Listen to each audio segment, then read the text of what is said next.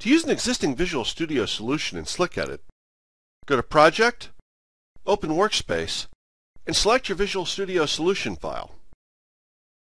That's all there is to it. Once you've opened your Visual Studio solution, you'll see the solution file and project files in the Projects tool window, just like you would with a SlickEdit project. Also, SlickEdit's tagging engine will immediately begin tagging your source files in the background, so all of SlickEdit's powerful context tagging features will work the same as if you'd created a SlickEdit project.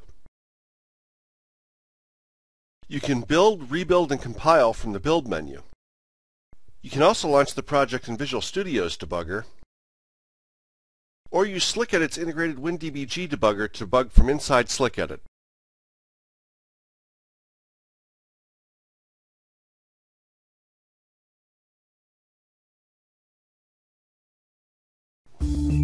Download your free trial today. Go to www.slickedit.com slash trial.